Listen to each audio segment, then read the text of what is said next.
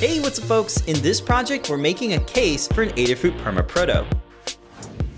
We designed and 3D printed this case for an upcoming project that uses an Adafruit Feather. The case snap fits together and it secures our Perma Proto board without any screws. This makes it so it's easy to put together and take it apart. We made two versions, one for the half-size PCB and the other one for the full-size PCB. The Perma Proto is a great way to make a modular circuit with headers and connectors. We designed the CAD assembly with parametric features so it's really easy to adjust the dimensions of the case. Be sure to check out our GitHub repo for our 3D parts library so you can use them in your projects. I also added an 18-pin dip socket for a solenoid driver with 8 channels. Once I had all of my wires soldered up, I installed it to the bottom cover using the built-in standoffs and mounting tabs. I hope you found this useful and hope this inspires you to try out the Adafruit Perma Proto for your next project.